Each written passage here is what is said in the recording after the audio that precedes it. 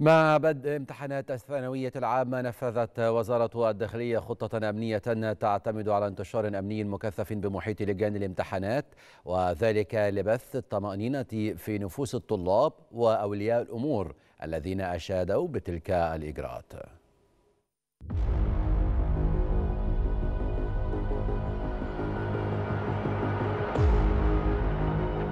انطلقت امتحانات الثانوية العامة حيث توجه آلاف الطلاب إلى لجان امتحاناتهم على مستوى الجمهورية وسط إجراءات أمنية اتخذتها وزارة الداخلية تنفيذا لخطة أمنية أعدتها لتناسب كافة المراحل التي تمر بها الامتحانات وتوفر الأجواء الملائمة ليتمكن الطلاب من أداء امتحاناتهم.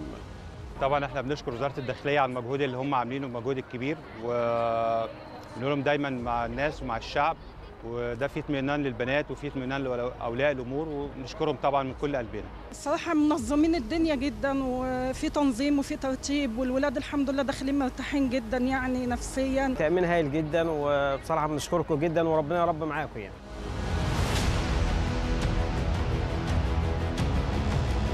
بمحيط المدارس التي تؤدى فيها الامتحانات خدمات أمنية لمتابعة ورصد الحالة الأمنية. عناصرها ذات جاهزية عالية واحترافية للتعامل الفوري والسريع مع أي إخلال بالنظام والأمن العام. كما تم تحديد حرم آمن بمحيط اللجان توجد فيه إلى جانب الخدمات الأمنية خدمات مرورية لتوجيه السيارات إلى مسارات بديلة بعيدا عن اللجان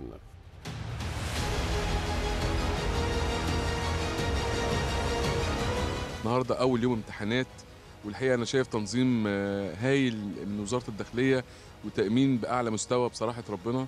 والتأمين بسم الله ما شاء الله وزارة الداخلية عاملة شغل تأمين عالي جدا. أنا حاسة بأمان على بنتي. منذ الصباح تتواجد عناصر الشرطة النسائية التي تسهم في بث الطمانينه في نفوس الطالبات بصفة خاصة بمحيط اللجان.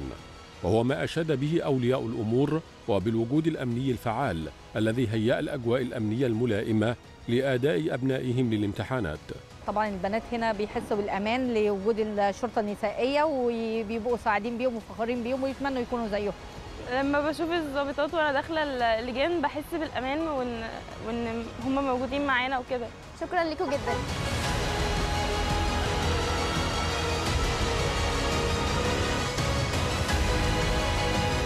الأقوال الأمنية تجوب الشوارع والميادين وبمحيط اللجان لمتابعة ورصد الحالة الأمنية على مدار الساعة خاصة وأن التأمين لا يقتصر على لجان الامتحانات فقط بل يمتد إلى عمليات نقل أوراق الإجابة والأسئلة.